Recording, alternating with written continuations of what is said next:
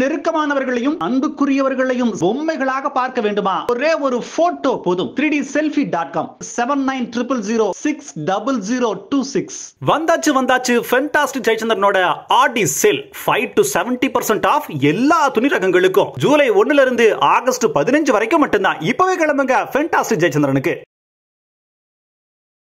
இப்படி தமிழ்நாடு முழுக்க மக்கள் போராடுறாங்க திண்டாடுறாங்க. எடப்பாடி பழனிசாமி ஆட்சியோட தொடர்ச்சியாக நீட்சியாக இந்த ஆட்சி இருக்கு. ஆனால் இந்த திமுகவை திரும்ப திரும்ப நம்புறாங்கன்னா அணி விளைவிக்கக்கூடிய திமுக நம்புறாங்கன்னா அப்ப சாத்தான்களின் பிள்ளைகளாக மாறிட்டீங்க அப்படிங்கிற சொற்பதம் சரிதானே? இன்னைக்கு திமுக நீதி கணிக்குதா? நியாயத்துக்காக பேசுதா? லஞ்சம் இல்லையா? ஊழல் இல்லையா? மக்களுக்கு கொடுமை விளைவிக்கலையா? எல்லா கொடுமையும் திமுகவும் செய்துங்க. பாரதிய ஜனதா மத்தியில் பண்றான் பண்றான் அப்படின்னா மாநிலத்தில் திமுக பண்ணுது. அப்ப கொடுமை பண்ணு தெரிஞ்சு கூட அவங்க பக்கம் போயிட்டா இந்த ராஜகிரண் வந்து சிஐக்கு எதிராக தமிழ்நாடு முழுக்க ஜாகிர் பார்க் கூட்டம் நடந்தப்ப எந்த ஜாகிர் பார்க்ல உட்காந்து இஸ்லாமிய மக்களோட இருப்ப அந்த குடியுரிமை கேள்விக்குள்ளாக்குற இந்த சிஏவை ஏற்க மாட்டேன் அனுமதிக்க மாட்டேன்னு தமிழ்நாட்டில் எங்க பேசினாரு? நபிகள் நாயகத்தை நுபூசனமா பேச பேர் இருக்கட்டும் இங்க கல்யாணம் நம்ம பேசின பேர் இருக்கட்டும் இவர் எங்க போனாரு? இந்த சிறைவாசி விடுதலைக்காக நாங்க தமிழ்நாடு முழுக்க போட்டங்கிறப்ப இவர் எங்க போனாரு? ஒரு வார்த்தை பேசுவாரா? எங்க போனாரு? ராகுல் காந்தியே சொல்றாரு இந்தியா இந்து பண்ணி நாடு ஆர்எஸ் அதே வார்த்தை வைக்குது இந்த காங்கிரஸ் அதே வார்த்தை ராமர் கோயில் கட்டணுமா ராமருக்கு மட்டும் கோயில் கட்டினா பத்தாது. சீதை கட்டுங்க. அனுமாரு இருக்கட்டுங்க சொல்றது யாரு? காங்கிரஸ். காங்கிரஸுக்கும் பாஜகவுக்கும் பெரிய நிலைப்பாட்டில் வேறுபாடு இல்லை அவ எப்படி நம்ப முடியும்? வந்தேன்னு சொல்றோம்னா வந்தேன்னா ஒருத்தரையும் அவமதிக்கவோ கொச்சைப்படுத்தவோ கேவலப்படுத்தவோ இல்லை. எங்கள் நிலம் நாங்க ஆள்றோம் நாங்க ஆள்றோம். நாங்க முதலமைச்சர் இருந்தோம்னா நீங்க அமைச்சர்களா இருங்க சட்டமன்ற உறுப்பினர் இருங்க. உங்களுக்கான பிரயத்தம் உண்டு. சக தேசின மக்கள்ங்கிற வகையில். அதுல வந்து யாரையும் அச்சத்தோ அச்சத்தவோ பயமத்தோ இல்லை. இது வந்து அப்பட்டமான அயோக்கியம் பாஜக கொண்டு வந்த எந்த சட்டத்தை எந்த திட்டத்தை நாம் தமிழர் கட்சி ஆதரித்தது? உங்கள் பாய்வில் ஞாபகம் தான் சொல்லுங்க. ஆனா அதே சமயத்துல மக்களவையில மாநில தன்னாட்சிக்கு எதிரான எண்ணெயை கொண்டு வரப்படுது வணக்கம் நேர்களே. இன்று நம்மோடு நாம் தமிழர் கட்சியினுடைய இளைஞர் பாசறை மாநில செயலாளர் இடும்பாவனம் கார்த்திக் இருக்கிறார். பேசலாம். வணக்கம். வணக்கம். எப்படி இருக்கீங்க? நல்லா சீமான் அவர்கள் தெரிவித்த கருத்து ஒரு பிரிவினைவாதத்தை தூண்டுவதாகவும் வெறுப்புணர்ச்சி தூண்டுவதாகவும் இருக்கு அப்படின்ற கருத்துக்கள் வைக்கப்படுது. மொத்தமா எல்லாமே சாத்தானின் குழந்தைகளாக மாறிட்டாங்களா? அது எதுக்கு அந்த மாதிரியான கருத்துக்களை தெரிவிக்கணும்? என்ன அர்த்தம் முதல்ல உங்கள் பார்வையில்? விளக்கம் கொடுங்க. நம்ம வந்து சாத்தான் அப்படிங்கிற அந்த கற்பிதத்தை ஏற்கலை. சொர்க்கம் நரகம் அப்படிங்கிறதுல நமக்கு நம்பிக்கை இல்லை. அது வேற. ஆனால் வந்து சாத்தானின் குழந்தை அப்படின்னு சொல்லப்படுதுன்னா அது ஒரு ஊமைக்காக பயன்படுத்தப்படுது. ஏன்னா அநீதிக்கு துணை போகிறவங்க சாத்தானின் குழந்தைகள் அப்படிங்கிற பொருளை நம்ம சொல்கிறோம் இல்லை இஸ்லாமிய கிறித்துவ மக்களை வந்து கொச்சைப்படுத்தவோ அவங்கள வந்து அவமதிக்கவோ ஒன்றுமே இல்லை. நாம் இங்கே தமிழ்நாட்டை பார்க்குற வரைக்கும் தமிழ்நாட்டை பொறுத்த வரைக்கும் பதினெட்டு விழுக்காடு அளவுக்கு அவங்களுக்கு வாக்கு இருக்குது. இங்கே வெற்றி தோல்வியை தீர்மானிக்கிற காரணியாக அந்த வாக்கு இருக்குது இன்னும் சொல்ல போனால் இன்றைக்கி அதிமுக வந்து ஏன் பாஜகவோட கூட்டணி வச்சோம் அப்படின்னு தயங்குறாங்கன்னா பாஜகவோட கொடுங்கோன்மை காரணமாக இல்லை.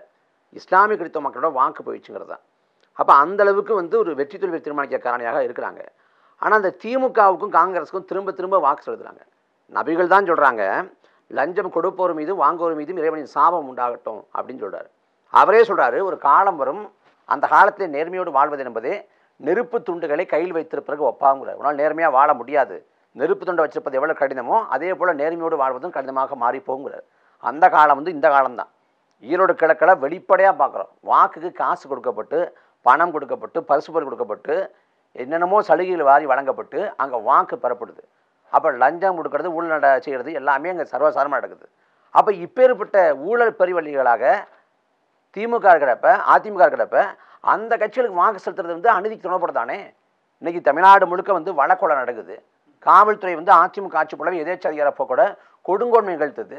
அத்தனை அநீதிகள் அத்தனை கொடுமைகள் என்எல்சி அந்த போராட்டத்தை பார்த்தா விவசாய நிலங்களில் வந்து கனரக நிலங்களை விட்டு அந்த நிலங்களை அழிக்கிறாங்க. விவசாய நிலங்களை அழிக்கிறாங்க. இப்படி தமிழ்நாடு முழுக்க மக்கள் போராடுறாங்க திண்டாடுறாங்க. எடப்பாடி பழனிசாமி ஆட்சியோட தொடர்ச்சியாக நீட்சியாக இந்த ஆட்சி இருக்குது ஆனால் இந்த திமுகவை திரும்ப திரும்ப நம்புகிறாங்கன்னா அநீதி விளைவிக்கக்கூடிய திமுக நம்புகிறாங்கன்னா அப்போ சாத்தான்களின் பிள்ளைகளாக மாறிட்டீங்க அப்படிங்கிற சொற்பதும் சரிதானே?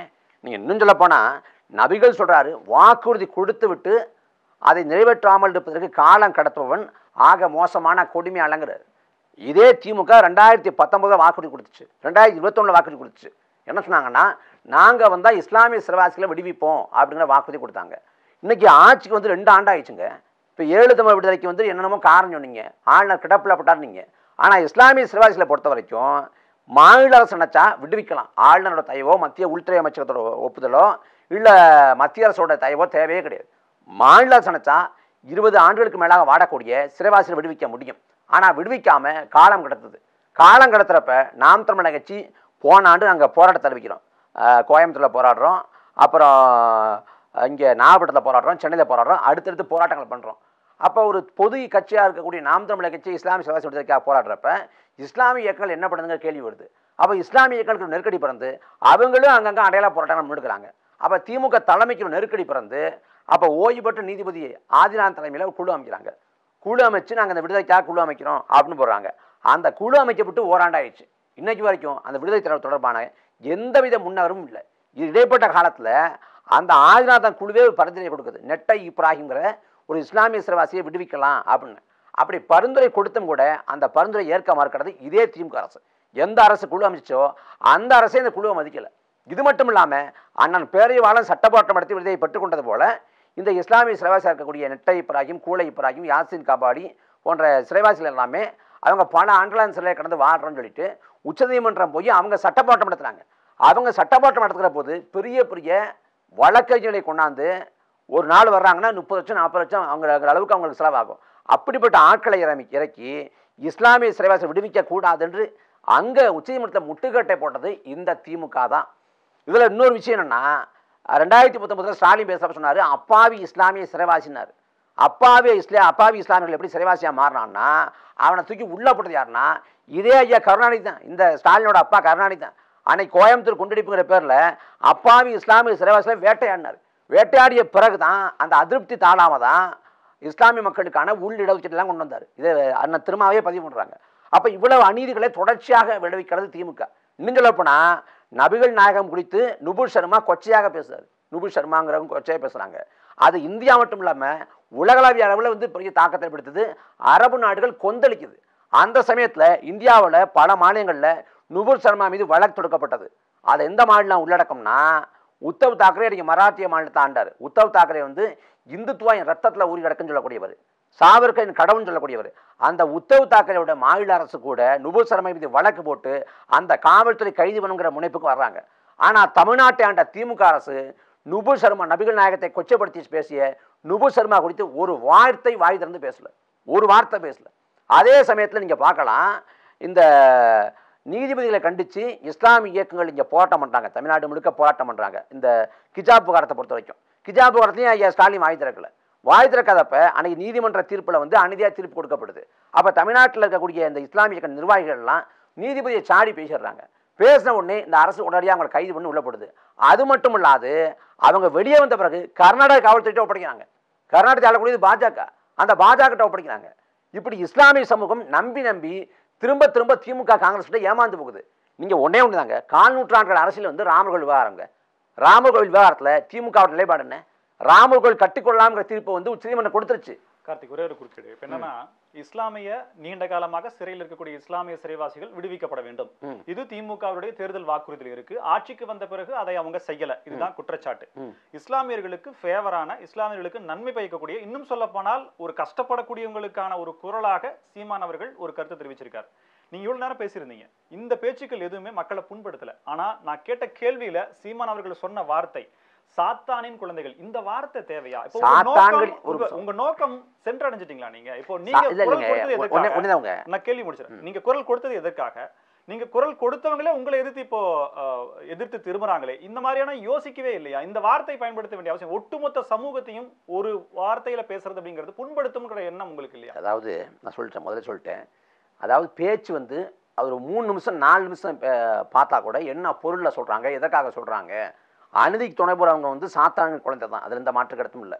அந்த உருவகத்தை நம்ம பயன்படுத்துகிறோம் இதில் வந்து அநீதி எதிர்த்து யார் சண்டை போகிறானோ அவன் தான் உண்மையான ஜிகாத் அப்படின்னு நபிகள் நாயகன் சொல்கிறாங்க இப்போ இந்த நிலத்தை பொறுத்த வரைக்கும் அண்ணன் பழனி பாபா தான் கடந்த காலத்தில் அநீதிக்கு எதிராக துணிச்சலோடு குரல் கொடுத்தார். அவரை கூட இவங்க பேச மாட்டேங்கிறாங்க அப்படின்ற வருத்தத்தை இன்னைக்கு கூட அண்ணன் சீமானவர்கள் பதிவு பண்ணாங்க. இதை நாம் சொன்ன கருத்தை விட்டுட்டு இங்கே திமுகவுக்கு ஒரு லாப நட்ட கணக்கு இருக்குங்க. திமுக பொறுத்த வரைக்கும் அவங்க பாஜகங்கிற ஒரு கட்சியை காமிச்சு காமிச்சு பாஜக உள்ள வந்துடும் பாஜக உள்ள வந்துடும் பாஜக பூச்சாட்டி காட்டி இங்கே தமிழ்நாட்டில் இஸ்லாமிய கிறிஸ்தவ மக்களையும் வாக்கில் பெறாங்க அப்போ இஸ்லாமிய கிறிஸ்தவ மக்களுக்காக தொடர்ச்சியாக கலந்து இருக்கக்கூடிய நாம் தமிழக கட்சி குறித்து ஒரு எதிர்மறையான சின்ன சிந்தனையை விதைக்கிறாங்க. அது பேசப்படுதுன்னா அதுக்கு வாய்ப்பு நீங்க தானே என்ன வாய்ப்பு வழங்குறோம்? இப்போ அந்த- சொற்கள் அந்த மாதிரியான அது சொற்கள் இல்லைங்க. தேவையே இல்லையே. அதெல்லாம் ஒண்ணு இல்லைங்க. இது இங்க பாருங்க இதே போன்ற வாதங்களை அண்ணன் பழனி பாபா சொல்லியிருக்காங்க. நீ இன்னும் சொல்ல போனா கருணாநிதி வந்து இஸ்லாமிய மக்களோட முதல குத்தின பாவி அப்படின்னு ஜவஹர்லால் பேசியிருக்காரு கருணாநிதி துரோகி அப்படின்னு அண்ணன் பழனிபாபா பேசியிருக்காரு. அப்ப அந்த துரோகிக்கு அந்த பாவிக்கு திரும்ப திரும்ப வாக்கு செலுத்தினா சாத்தான்களின் பிள்ளைகளாக மாறி போவோம்னு சொல்றமே ஒழிய மாறிட்டோம்னு சொல்றமே ஒழிய அவங்க சாத்தான் தான் சாத்தான் குழந்தை தான் அப்படின்னு சொல்ல வரல. அநீதிக்கு துணை போவதால வேண்டாமான்றேன். இவ்வளவு காலமா திரும்ப திரும்ப ஊழல்வாதிகளுக்கு நீங்க ஏன் ஓட்டு போடுறீங்க? உங்களுடைய வாக்குகளை மாற்றுங்க சிந்திங்க. அந்த சிந்தனையை தூண்டு விதமா பேசலாம் சிந்தனை அதே பேச்சில் இருக்குங்க. அதே பேச்சில் இஸ்லாமிய சிறுவாசியில் வந்து திமுக விடுவிக்கட்டும். நாம கூட திமுக ஓட்டு போடுவோம் அப்படிங்கிற அளவுக்கு பேசுறோம். அதெல்லாம் வந்து யாருமே எடுத்துக்கலையே. அப்ப எது தேவையோ அதை எடுக்கிறாங்க. இங்க இஸ்லாமிய சிறுவாசி விடுதலைக்காக திமுக என்ன பண்ணுது? நீங்க சொல்றதுல இருந்து எடுத்துக்கிறேன். இப்ப எது தேவையோ அதை எடுத்துக்கிறாங்க அப்படின்னா அப்ப நாம் தமிழர் கட்சியினுடைய ஒருங்கிணைப்பாளர் சீமான் மேல இஸ்லாமியர்களுக்கு ஏற்கனவே விரோதமோ வன்மமோ இருக்குன்னு நீங்க நினைக்கிறீங்களா? நிச்சயமா இல்ல. இஸ்லாமிய மக்களுக்கு இல்ல. சரி. ஆனா இஸ்லாமிய மக்கள் திரும்ப திரும்ப இந்த திமுக காங்கிரஸ் நம்புறாங்க. நான் இதான் சொல்றேனே. இப்படி சொன்னது போல ராமர் கோயில் விவகாரத்தை பொறுத்த வரைக்கும் உச்சநீதிமன்ற தீர்ப்பு கொடுக்குது. உரிமையில் வழக்கில். அதாவது நிலம் இஸ்லாமிய இந்துத்துவ அமைப்புகளுக்கு சொந்தம். அங்கே வா ராமர் கோயில் கட்டிக்கொள்ளலாம் அப்படின்னு தீர்ப்பை கொடுக்குது. அப்படி தீர்ப்பை கொடுத்த போது இது வந்து தீர்ப்பு தானே ஒழிய நீதி அல்ல அப்படின்னு பேசியது நாம் தமிழக கட்சி. ஆனால் அதே சமயத்தில் அந்த தீர்ப்பை முழு மனதோடு வரவேற்றது இதே திமுக. காஷ்மீரில் வந்து மாநில தனிமை பறிக்கப்பட்ட போது காஷ்மீர் நிலம் காஷ்மீருக்கே சொந்தம்.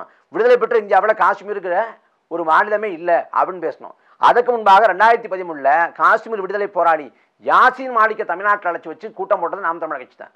ஆனா அந்த திமுக பொறுத்த வரைக்கும் அந்த நிலைப்பாட்டில் பின்வாங்குது. தொடக்கத்துல மாநில தடுமையை பறிக்கப்பட தவறுன்னு பேசின திமுக அதுக்கு பிறகு அந்த நிலைப்பாட்டை மாற்றிக்கொண்டு பறிக்கப்பட்ட விதம் தான் தவறை ஒழிய பறிக்கப்பட்ட தவறு இல்லை அப்படின்ற நிலைக்கு வர்றாங்க. அப்படி எல்லா இடத்துலயுமே- இல்ல. இப்ப நீங்க வந்து திமுகவை தான் குற்றம் சாட்டுறீங்க. திமுகவுடைய செயல்பாட்டை விமர்சிக்கிறீங்க. அது கொடுத்த வாக்குறுதிகள் இருந்து தவறிடுச்சு அப்படின்னு சொல்லி சொல்றீங்க. இது எதுக்காக சொல்றீங்கன்னா இஸ்லாமியர்களுக்கான. இப்ப ரெண்டுமே நல்ல விஷயங்கள் தான். ஆனா அந்த சொல்லப்பட்ட அந்த வார்த்தை திரும்ப திரும்ப இங்க வந்து அவங்கள புண்படுத்துற விதமாகவும் நோகடிக்கிற விதமாகவும் இருக்கு. அப்போ திரும்பவும் இது உண்மையில இப்படி புரிந்து கொள்ளப்பட்டது அப்படின்னு ஒரு வருத்தமோ அந்த மாதிரியான சூழ்நிலைக்கு இப்போ இருக்காதுன்னு நினைச்சுக்கலாமா. அப்படி தேவைன்னு நினைக்கலாமா? ஒரு உள்ள குமரல் ஒரு அறச்சீற்றம் ஒரு ஆதங்கம் அவ்வளவுதான். நீங்க அநீதிக்கு தெரிஞ்சே துணை போறீங்களே அப்படிங்கிற கோபம். நியாயமா சொல்லட்டும். நபிகள் சொன்னாங்கல்ல லஞ்சத்துக்கு ஊழலுக்கு எதிராக பேசினாங்கல்ல நீதிக்காக பேசினாங்கல்ல யாராவது ஒருத்தர் சொல்லட்டும் இந்த திமுக ஹராம்னு இஸ்லாம் எத்தனையோ ஒதுக்கி வைக்குது. சாராயத்தை ஒதுக்கி வைக்குது பல கெடு கெடுதான பல விஷயங்களை வந்து ஹராம்னு சொல்றாங்க. அதே போல இன்னைக்கு திமுக நீதியும் கணிக்குதா? நியாயத்துக்காக பேசுதா? லஞ்சம் இல்லையா? ஊழல் இல்லையா? மக்களுக்கு கொடுமை விளைவிக்கலையா? எல்லா கொடுமையும் திமுக செய்யுதுங்க பாரதிய ஜனதா மத்தியில் பண்றான் பண்றான் அப்படின்னா மாநிலத்துல திமுக பண்ணுது. அப்ப. கொடுமை பண்ணு தெரிஞ்சு கூட அவங்க பக்கம் போயினா புரியுது. அநீதிக்கு துணை போனா சாத்தான தானே ஆகும். நீங்க சொல்ற விதத்துல அவங்க புரிஞ்சுக்கலையே. உங்களை தானே அவங்க வந்து அதாவது கேக்குறாங்க. எங்க கருத்து- பார்வை பார்க்க வேண்டிய எங்க? கருத்துக்கு நாங்க பொறுப்பேற்க முடியும். யாரோட புரிதலுக்கு நாங்க பொறுப்பேற்க முடியாது. நாங்க சொல்றோம். நாங்க வாக்குக்காக இந்த வேலையை செய்யல. இதை செஞ்சால் வாக்கு போடுவாங்க அதை செஞ்சால் வாக்கு போடுவாங்கன்னு நினைக்கல. இதே சிஐஏ தமிழ்நாடு முழுக்க வந்து அந்த சிஏவுக்கு எதிரான இந்த சாகிரபார் கூட்டம் நாம் தமிழக கட்சி அண்ணன் சீமானவர்கள் வந்து தொண்டை புண்ணாயிடுச்சு பேசக்கூடாதுங்கிறாங்க. ஆனால் ஓடோடி போய் தமிழ்நாடு முழுக்க பேசினாங்க. எங்கள் கட்சி சேர்ந்த நிர்வாகிகள் பேசினாங்க. நான் பேசினேன் தொடர்ச்சியாக பேசணும். முத்தலாக்குங்கிற இதை கொண்டு வந்தப்ப அதுக்கு எதிராக பேசணும். அதே போல் நபிகள் நாயகத்தை வந்து இங்கே கல்யாணராமன் ஒருத்தன் பேசினப்ப தப்பாக பேசுகிறப்ப அதை கண்டித்து பேசணும். தொடர்ச்சியாக இஸ்லாமிய மக்களை உரிமைக்காக பேசுகிறோம் ஆனால் திமுக என்ன டெல்லியில் சோனியாகாந்தி தலைமையில் வந்து அனைத்து கட்சி கூட்டம் சிஏவுக்கு எதிரான அனைத்து கட்சி கூட்டம். அந்த அனைத்து கட்சி கூட்டத்தில் வந்து திமுக கலந்துக்கவே இல்லை புறக்கணிப்பு செஞ்சாங்க. ஏன்னு கேட்டால் தமிழ்நாட்டில் காங்கிரஸுக்கும் திமுகவுக்கும் முரண்பாடு உள்ளாட்சியில் வந்து இடங்களை பகிர்ந்து கொள்ள தொடர்பாக. அந்த முரண்பாடு வந்த உடனே அந்த அற்ப உள்ளாட்சி இடத்துக்காக சிஏயுக்கு எதிரான அந்த எதிர்கட்சியின் கூட்டத்தை புறக்கணித்து தான் திமுக. திமுகவோட ரெண்டாயிரத்தி இருபத்தி ஒன்று தேர்தல் அறிக்கையில் கூட சிஏயுக்கு தான் இல்லை. அதுக்கு பிறகு ஜவாஹர்லா வந்து வருத்தம் தெரிவிச்ச பிறகு திரும்ப சேர்க்கப்பட்டது. இதுதான் திமுகவோட நிலைப்பாடு. நீங்க- இன்னும் சொல்ல போனா திமுக தான். சொல்றேன் கேளுங்க. நீங்க இஸ்லாமியர்களுக்கு இவ்வளவு ஆதரவான கருத்துக்களை சொல்றீங்க. இப்ப நீங்க அதாவது ஒருங்கிணைப்பாளர் சீமான் தெரிவித்த கருத்துக்கு எதிர்வினைய நடிகர் ராஜ்கிரண் ஒரு Facebook பதிவை போட்டிருக்காரு. நீங்க பார்த்திருப்பீங்க. நினைக்கிறேன். கடைசி வரி பார்த்தேன் பார்த்தேன் பார்த்தேன். அந்த கடைசி வரி எந்த அளவிற்கான ஒரு தாக்கத்தை ஏற்படுத்தி அவர் முதல்ல நான் படிச்சிட்டேன் இந்த பொறுமையை தவறாக புரிந்து கொண்டு கண்ட கள்ளிசடைகளும் பேச ஆரம்பித்தால் அதன் விளைவு மிக மோசமாக இருக்கும். இவர் எங்க போனார் இவ்வளவு நாள்? இந்த ராஜ்கிரண் வந்து சிஏவுக்கு எதிராக தமிழ்நாடு முழுக்க ஜாகிர் பார்க் கூட்டம் நடந்தப்ப எந்த ஜாகிர் பார்க்கில் உட்காந்து இஸ்லாமிய மக்களோட இருப்பை அந்த குடியுரிமை கேள்விக்குள்ளாக்குற இந்த சிஏவை ஏற்க மாட்டேன் அனுமதிக்க மாட்டேன்னு தமிழ்நாட்டில் எங்கே பேசினார்? நபிகள் நாயகத்தை நுபு சர்மா பேசின பேர் இருக்கட்டும் இங்கே கல்யாணம் பேசின பேர் இருக்கட்டும் இவர் எங்கே போனாரு? இஸ்லாமிய மக்கள் விடுதலைக்காக இந்த சிறைவாசி விடுதலைக்காக நாங்கள் தமிழ்நாடு முழுக்க போராட்டம் செய்கிறப்ப இவர் எங்கே போனாரு? ஒரு வார்த்தை பேசுவாரா? எங்கே போனாரு? இந்த பதிவுக்கு பிறகுதாங்க இஸ்லாமியன்னு எல்லாருக்கும் தெரியும். அவர் இஸ்லாமிய மக்களுக்கு எங்க பேசியிருக்காரு? யாருக்காக பேசியிருக்காரு? எப்போ பேசியிருக்காரு? எப்போ களத்துக்கு வந்திருக்காரு? உனக்கு தனிப்பட்ட ஒரு இதில் வன்மம் இருக்கு. கால் புழைச்சிருக்குன்னா அதை காட்டுறதுக்கு இந்த மதத்தை நீ கேடாம பயன்படுத்துகிற இந்த இஸ்லாமிய மக்களுக்கு சிக்கலே வரலையா? அதிமுக ஆட்சி காலத்தில் எவ்வளோ சிக்கல் வந்துச்சு? எப்போ குழு கொடுத்தாரு? கோயம்புத்தூரில் இப்போ வந்து இந்த சிலிண்டர் வெடிச்சப்ப ஒட்டுமொத்த இஸ்லாமிய சமூகத்தை வந்து குற்றப்படுத்த முயற்சி பண்ணப்ப என்ன பண்ணாரு? ஒன்றுமே பண்ணலங்க. இப்ப திடீர்னு வந்து அவர் பேசியிருக்காரு. இஸ்லாமிய கிறிஸ்தவ மக்களுடைய உண்மையான பாதுகாவலன் நாம் தமிழர் கட்சியினுடைய ஒருங்கிணைப்பாளர் சீமான் அப்படின்னு கிரெடிட் எடுத்துக்கிறீங்களா? இல்ல பாதுகாவலன் நாங்க மொத்த மொத்தம் அப்படி சொல்ல வரல. நாங்க அவங்களுக்கு துணையா நிற்போம் அது யார் பாதுகாவலர்கள் அவங்க முடிவு பண்ணிக்கிட்டோம். அவங்களுக்கு துணையா நாங்க இந்த கருத்தால உங்களுக்கு எதிர்ப்பு கிளம்பி இருக்கு. இதை நீங்க எப்படி எதிர்ப்பு எதிர்ப்பு இல்லாமல் அரசியல் இல்லைங்க. எதிர்ப்பு இல்லாம ஒண்ணுமே இல்லைங்க. இல்ல சார் அவங்க புரிஞ்சுக்குவாங்க. தவறாக புரிந்து கொள்ளப்பட்டு வருது அது- அதுக்கு- உணர்ந்துக்குவாங்க. அவ்வளவுதான். போதிக்கும் போது புரியாது பாதிக்கும் போது புரியுங்கிறார் கிருபானந்த வாரியார் போதிக்கும் போது இல்லை புதிய புரியலன்னா பாதிக்கும் போது புரியும். இன்னும் ஓராட்கள் ஆட்சி இருக்குல்ல திமுக என்னென்ன அட்டூழியம் பண்ண போது இங்கே பார்க்க தான் புரியுங்க. ஒரு வேளை ரெண்டாயிரத்தி இருபத்தி நாலில் மறுபடியும் மோடி வந்தால் திமுக மோடியின் காலில் விடும் இதை விட வலிமையாக விடும். அன்னைக்கு புரியும். நீங்கள் இன்னும் சொல்ல போனால் பாஜக அன்னைக்கு அசுர பலத்தோடு அசுர பலத்தோடு மத்தியில் அதிகாரத்தில் இருக்கான். அவனோட நோக்கங்கள் எல்லாத்தையும் நிறைவேற்றி கொண்டிருக்கான். என்னென்ன நோக்கம்? ராமகல் விவகாரம் முடிச்சிட்டான். காஷ்மீர் மாநில தன்மையை பறிச்சிட்டான். பொது சொல் சட்டம் அடுத்த கையை வச்சுட்டான். இவ்வளவு பெரிய அதிகார வலிமை கொடுத்தது யார்? வாஜ்பாய் வந்து முதல்ல பதிமூணு நாள் தாங்க ஆள்றாரு. பதிமூணு நாளில் வாஜ்பாய் ஆச்சு கவிழ்ந்து போகுது பெரும்பான்மை இல்லாமல் அதுக்கு முறை ஜெயலலிதா அம்மையார் வந்து பதிமூணு மாதத்தில் கொடுத்த ஆதரவை விளக்குனதால அந்த ஆட்சி களைய போகுது. களைய போகிற நேரத்தில் ஓடோடி போய் அன்னைக்கு பாஜகவுக்கு ஆதரவு கொடுத்தது திமுக. ரெண்டாயிரத்தி ரெண்டில் மூவாயிரம் இஸ்லாமிய மக்களை துள்ள துடிக்க படுகொலை செஞ்ச போது அன்னைக்கு பாஜகவோடு இதே திமுக கூட்டணி இருந்தது. கூட்டணி இருந்தது மட்டும் இல்லாமல் அன்னைக்கு பாஜகவோட கூட்டணி இருந்த சந்திராபாபு நாயுடு மம்தா பானர்ஜி இவங்கெல்லாம் குறைந்தபட்சமான ஒரு கண்டனத்தை பதிவு செய்ய குறைந்தபட்ச கண்டனத்தை கூட பதிவு செய்யாமல் அது அந்த மாநிலத்தோட உள் விவகாரம் சட்ட ஒழுங்கு விவகாரம் நாம் தலையிட முடியாதுன்னு மோடிக்கு வக்காலத்து வாங்கியவர் சப்பை கட்டு கட்டியவர் இதே கருணாநிதி. பார்லிமெண்ட்ல மோடிக்கு எதிராக வாக்கெடுப்பு கூடிய விடக்கூடிய விவாதம் கொண்டு வந்தப்ப திமுகவை சேர்ந்த ஆர் ராசா உள்ளிட்ட பன்னெண்டு பார்லிமெண்ட் உறுப்பினர்கள் அன்னைக்கு ஆதரவாக ஓட்டு போட்டாங்க. யாருக்கு? மோடிக்கு ஆதரவாக. அது எல்லாம் முடிஞ்ச பிறகு இங்கே அண்ணாமலை யாத்திரை போடுறது போல மோடி யாத்திரைன்னு சொல்லிட்டு குஜராத்தில் ஒரு யாத்திரை போறாரு. மோடி என் மேலே களங்கத்தை பூசிட்டாங்க பழிய போட்டாங்க அதனால் மக்கள்கிட்ட நான் நீதி கேட்குறேன்னு சொல்லிட்டு போறாரு. அப்படி போனப்போ திமுகவை சேர்ந்த எஸ்எஸ் பழனி மாணிக்கம் போய் மோடிக்கு தனது தார்மீக ஆதரவு வழங்குவதாக அறிவித்தார். இது எல்லா குடும்பம் நடந்துச்சு. எல்லா குடும்பமும் நீங்கள் பண்ணி நிகழ்த்தி விட்டு இன்னைக்கு வந்து வந்து யோக்கிய வசம் போட்டு வர்றாங்க. இந்த திமுகவை இந்த மக்கள் நம்பினாங்கன்னா நம்ம எப்படி சொல்கிறது நரேந்திர மோடி தமிழ்நாட்டுக்குள்ளே வரக்கூடாது. கோபேக் மோடின்னு தமிழ்நாடே சொன்னது சொன்னது. அன்னைக்கு அதிமுக ஆட்சி காலத்தில் எடப்பாடி பழனிசாமி கூப்பிட்டப்ப அடிமை எடப்பாடி நீங்கள் ஆனால் திமுக ஆட்சிக்கு வந்த உடனே என்ன பண்ணீங்க? கொரோனா காலத்தில் மருத்துவக் கல்விகளை திறப்பதற்காக மோடியை போய் அழைச்சது இதே திமுக. பன்னெண்டு மருத்துவக் கல்விகளை மோடி வெள்ளித்தட்டில் வச்சு கொடுத்துருக்காரு. அந்த மோடி அழைக்காமல் யார் அழைக்கிறதுன்னு கேட்டது இதே திமுக. ஆர்எஸ் மோகன் பாபுத்து மதுரைக்கு வந்தப்ப சாலை ஒழுங்கா பராமரிங்க மின் விளக்குகள் சரியாக போடுங்க. அவர் வந்து எதுவும் கஷ்டப்படக்கூடாதுன்னு சொன்னது இதே திமுக. இப்போ மறுபடியும் அமித்ஷா வந்தார்ல கடைசி வந்தார்ல?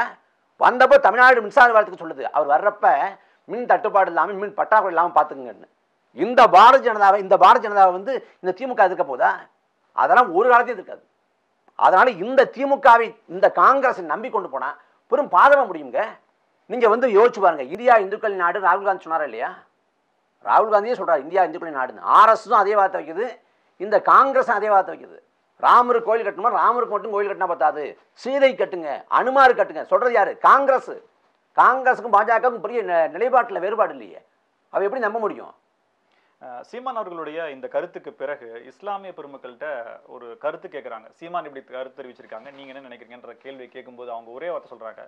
சீமான் நாம் தமிழர் கட்சி பாஜகவுடைய பி டீம் இதுக்கு உங்களுடைய பதில். அதாவதுங்க நீங்க வந்து இப்போ கருத்து கேட்குறாங்கன்னா அது என்ன பொருளில் சொன்னார் எதற்காக சொன்னார் அப்படிலாம் விளக்காம பத்தொன்பதுவா சாத்தான்களின் பிள்ளைகள் அப்படின்னு உங்களை சொல்லிட்டாங்களேன்னா ஒரு இயல்பான கோபம் வரும். அதில் வந்து போகிற புகழ் சொல்லிட்டு போகலாம் நான் தான் வெளிப்படையாக சவால் வரேனே திமுகவை சேர்ந்த செய்தி தொடர்பாளர்கள் ராஜீவ்காந்தியோ பிரசன்னாவோ யார் வேணால் வரட்டும். நான் ஒரே மடையில் நேரலையா ஏன் அன்னார் இடத்துல கலைஞர் தொலைக்காட்சியை கூட உட்காந்து வாக்கி தர இருக்கேன். யார் பாஜக பி யார் சங்கி?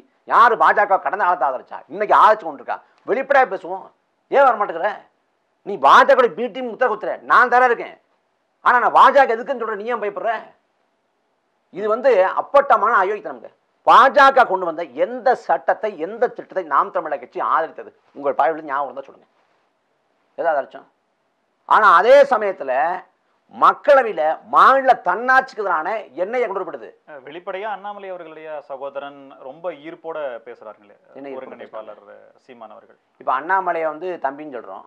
உதயநிதியையும் தம்பி தான் சொல்றோம் எல்லாரையுமே ஒரு முறை போட்டு தான் கூப்பிடுறாரு அப்புறம்? அதை தாண்டிய ஒரு நட்பு இருக்கு அப்படின்றது தனிப்பட்ட. தனிப்பட்ட உறவுல அன்புல வந்து அந்த அண்ணன் தம்பின்னு சொல்கிறது வேற இது வேற எல்லாரையும் வந்து திருச்சி வேலுச்சாமி காங்கிரஸ் இருக்காரு அவரை மாமான்னு சொல்கிறாங்க நயனா நாயகத்தில் பாஜக இருக்காரு அவரை மாமான்னு சொல்கிறாங்க பொன்ராதாகிருஷ்ணன் பாஜக இருக்காரு. ஆ ராசா அண்ணன் சொல்கிறாங்க இல்ல, தமிழச்சாங்க நடைபயணம் அண்ணன் சொல்கிறாங்க நடைபயணம் போறத பாராட்டுறீங்க. அவருடைய நடைபயணம் நடைபயணம்? சில கருத்துக்களை நடைபெணம் எப்போ பாராட்டணும்? பாராட்டல நடைபெணத்தில் ஒன்று பாராட்டலையே. நடைபெறத்தை முடிச்சு தான் பேசுகிறோம் அதனால் பயன் இல்லைன்னு சொல்கிறோம் அவர் போகிறதுனால அவருக்கு உடலில் உள்ள கெட்ட கொழுப்புகள் குறையலாம். மற்றபடி இதனால் ஒரு சமூகத்துக்கு எந்த பயன் விளையப்படுதுன்னு சொல்கிறோம் நாம் அப்படிலாம் பாராட்டலையே. நீங்கள் பாஜகவோட சட்டங்களை திட்டங்களை ஆதரித்து கொண்டிருப்பது இந்த திமுக தான். நரேந்திர மோடி கடைசியாக வந்தப்ப நரேந்திர மோடியை மேலே வச்சுக்கிட்டு எல்முருகன் சொல்கிறாரு மத்திய அரசு திட்டங்களை மத்திய அரசோடு இணைந்து சீரம் சிறப்புமாக செயலாற்றி கொண்டிருக்கிறார் முதலமைச்சர் ஸ்டாலின். மத்திய அரசு திட்டம் என்ன?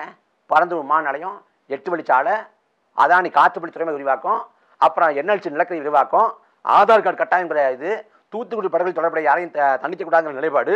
அப்புறம் இஸ்லாமிய சிலை விடுவிக்கக்கூடாதுங்கிற நிலைப்பாடு. அப்போ பாஜகவோட நோக்கங்கள் எதுவோ செயல் திட்டங்களோ எதுவோ அது எல்லாத்தையும் திமுக வந்து நிறைவேற்றி கொண்டிருக்கு. மாநில தன்னாட்சி நடந்தங்க எண்ணெயை எண்ணெயை வச்சு தாங்க நீ எஸ்டிபியை வந்து போட்டு போட உடனே குறைக்கிறான். அந்த எண்ணெயை வந்து மக்களவையில் வந்து ஆதரிச்சது. பாஜக கொண்டு வந்தப்போ ஆதரிச்சது இதே திமுக. ஜிஎஸ்டி மாநிலங்களில் ஆதரிச்சதும் இதே திமுக தான். ராமர்கள் கட்டுற விவகாரத்தில் திமுகவை சேர்ந்த இதே செஞ்சி மஸ்தான் ராமர்கள் கட்ட நிதி கொடுத்தாரு. அயோத்தியில. சரி தெலுங்கர்கள் வந்தேரிகள் கன்னடர்கள் வந்தேரிகள் வடவிலிருந்து வந்தவர்கள் வந்தேரிகள் இங்க இருக்கக்கூடிய இஸ்லாமியர் கிறிஸ்தவர்கள் சாத்தானின் பிள்ளைகள். நாம் தமிழர் கட்சியினுடைய நோக்கம் என்ன? இல்ல நீங்க இப்படி என்ன? இப்படி பொத்தம்பதா பார்த்தா அப்படி பொத்தம்பதா பேசினா ஒண்ணும் புரியாது. தெலுங்கர்களை கன்னடர்களை மலையாளிகளை சக தேசின மக்களாக பார்க்குறோம். இப்போ ஆந்திராவில் கர்நாடகாவில் கேரளாவில் அங்கே தமிழர்கள் வாழ்கிறாங்க ஆனால் அங்கே போய் அவங்க ஆளணும்னு நாங்கள் சொல்ல வரல. வடவேங்கடம் தென்குமரி ஆயிடு தமிழகம் அலுவலகு என்று போற்றி புகழப்பட்ட பறந்து விரிந்த நிலப்பரப்பு. எல்லை பிரிப்பு எல்லை பிரிப்புக்கு பிறகாக இந்த தமிழ்நாடு குறுகிருச்சு சுருங்கிருச்சு. சேர சோழ பாண்டிய சாம்ராஜ்யங்கள் இருக்கிறப்பையும் இது தமிழ்நாடு தான். ஆனால் நீ குறுகி நிற்குது அதை இன்னமும் சுருக்குறீங்க. இருங்க, வர்றேன், வர்றேன், அப்படின்றதுதான் வர்றேன். ஒரு ஆற்றாமையா நாங்க கேரளாவை மலையாளி ஆளணும் ஆந்திராவில் தெலுங்கானா ஆளணும் தெலுங்கானாவை தெலுங்கானா ஆளணும் கர்நாடகா கர்நாடகா ஆளுன்னு ஆனால் தமிழ்நாட்டை தமிழை ஆளுன்னு சொல்றமே ஒழிய தமிழ்நாட்டில் வாழக்கூடிய தெலுங்கர்களையோ கன்னடர்களையோ மலையாளிகளையோ அச்சுறுத்தவோ பாதுகாப்பின்மையை உணரவோ உணர செய்யவோ இல்லை விரட்டவோ நாங்கள் ஒருபதும் படலையே இந்த நாம் தமிழகை தொடங்கப்பட்ட பதிமூன்று ஆண்டுகள் எடுத்துக்கங்க. ரெண்டாயிரத்தி பதினாலில் ஆந்திராவில் இருபது தமிழர்கள் கொலை செய்யப்படுறாங்க. கொலை செஞ்சது வந்து யாரோ ஒருத்தர் இல்லை தனிநபர் தாக்குதல் இல்லை. மாறாக அந்த மாநில காவல்துறை அரசு கொள்ளுது கொன்னவராக தமிழ்நாட்டில் வாழ்ந்த எந்த தெலுங்கனா நாம் தமிழை கட்சி அடிச்சிச்சு. முல்லை பெரியார் சிக்கல். கேரளாவில் வாழக்கூடிய எல்லை பிரிப்புக்கு முன்பிருந்தே அங்கே வாழக்கூடிய அந்த பூர்வகுடி மக்களாக வரக்கூடிய தமிழ் பெண்களை மானமங்கப்படுத்தினான் நாங்கள் இங்கே என்ன பண்ணோம்? தொண்ணூத்தொன்னில் வந்து காவிரியில் தண்ணி கட்டப்ப பங்கார பாய்ச்சியில் வந்து பெரிய இனக்கலவரம் கட்டல் விடப்பட்டுச்சு. அதோட நீட்சி போல் தொடர்ச்சி போல் ரெண்டாயிரத்தி பதினாலு பதினஞ்சு இந்த காலகட்டத்தில் வந்து ஐம்பது கேபிஎன் அந்த பேருந்தை வந்து கொளுத்தினான். இங்கே கர்நாடகாவில். அங்கே வந்து தமிழில் ஓ ஓட விட்டு அடித்தான் நாங்கள் தமிழ்நாட்டில் வந்த எந்த காலம் அடித்தோம் நாங்கள் மிக அமைதியாக இருக்கோங்க மிக அமைதியாக இருக்கோம். நீங்கள் வந்து பாருங்க போன ரெண்டு மூணு மாதத்துக்கு முன்னாடி ராஜாங்கிற மீனமே கர்நாடகாவில் கொலை செய்யப்படுறான் சுட்டு. இங்கே ஏதாவது இனக்கலவரம் வந்துச்சா? இனக்கலவரம் வந்துச்சா? மாற்று மொழிக்காரங்க தாக்கப்பட்டாங்களா? யாரையும் நாங்கள் தாக்கலைங்க. யாரையும் நாங்கள் ஒன்றும் பண்ணலங்க. வந்தேன்னு சொல்கிறோம்னா வந்தேன்னா ஒருத்தரையும் இங்கே அவமதிக்கவோ கொச்சைப்படுத்தவோ கேவலப்படுத்தவோ இல்லை. எங்கள் நிலம் நாங்கள் ஆள்றோங்கிறோம் நாங்கள் ஆள்றோம். நாங்கள் முதலமைச்சர் இருந்தோம்னா நீங்கள் அமைச்சர்களாக இருங்க சட்டமன்ற உறுப்பினராக இருங்க உங்களுக்கான பிரயத்துவம் உண்டு. சக தேசின மக்கள்ங்கிற வகையில். அதில் வந்து யாரையும் அச்சுத்தோ அச்சுத்தவோ பயமத்தோ இல்லை. இப்போ வந்தேங்கிற வார்த்தையை நாங்கள் பயன்படுத்த தான் சொல்கிறாங்க ரெண்டாயிரம் ஆண்டுகளுக்கு முன்பாக கைபர் போலான் கணவாய் வழியாக ஆரிய பார்ப்பனர்கள் வந்தாங்கிறாங்களே. ரெண்டாயிரம் ஆண்டுக்கு முன்னாடி வந்தவன வந்தேன்னு சொல்கிற எப்படி? இங்கே வந்து முந்நூறு ஆண்டா வாழ்ந்துட்டான். முந்நூறு ஆண்டு வெள்ளைக்காரன். முந்நூறு ஆண்டு ஆ- வாழ்ந்தாலும் வெள்ளையனே வெளியேறினான். வெள்ளைக்காரனா அந்நியர்னா. புரியலையே. முப்பது ஆண்டுக்கு முடி ஒருத்தன் வர்றேன் அப்படின்னா அவன் வந்து மாற்று மொழிக்காரன் இந்த நிலத்தை ஆளக்கூடாது. அது தார்மீகம் இல்லை. அறம் இல்லைன்னு சொன்னோம்னா அதை இன தூய்மைவாதம்ங்கிறாங்க. ஆனால் இங்கே பிறந்து வளர்ந்து முந்நூறு ஆண்டு ஆனாலும் வெள்ளைக்காரன் அண்ணிங்கிறாங்க ரெண்டாயிரம் ஆனாலும் கைபர் கா போலாம் வழியாக வ- அன்னைக்கு வந்தான் ஆரியன் வந்தவங்கிறீங்க. என்ன புரியலையே? அப்போ முழுக்க முழுக்க இது தமிழ் தேசத்தின் மீது தமிழ் தேச கருத்தின் மீது நாம் தமிழக கட்சி மீதான ஒரு கொடும் தாக்குதல் தானே ஒழிய வன்மம் காழ்ப்புணர்ச்சி தானே ஒழிய அவங்க சொல்கிறதுல எல்லாம் எந்த நியாயமும் இல்லை. நீண்ட நெடிய இலக்கு வெற்றி பெற வாழ்த்துக்கள். நன்றி இடுமானம் கார்த்திக். நன்றி. நெருக்கமானவர்களையும் அன்புக்குரியவர்களையும் பொம்மைகளாக பார்க்க வேண்டுமா? ஒரே ஒரு போட்டோ போதும். Three D selfie dot com seven nine triple zero six double zero two six வந்தாச்சு வந்தாச்சு fantastic ஜெயச்சந்திரனோட Aadi sale five to seventy percent off எல்லா துணி ரகங்களுக்கும் ஜூலை ஒண்ணுல இருந்து ஆகஸ்ட் பதினஞ்சு வரைக்கும் மட்டும்தான். இப்பவே கிளம்புங்க ஃபென்டாஸ்டிக் ஜெயச்சந்திரனுக்கு.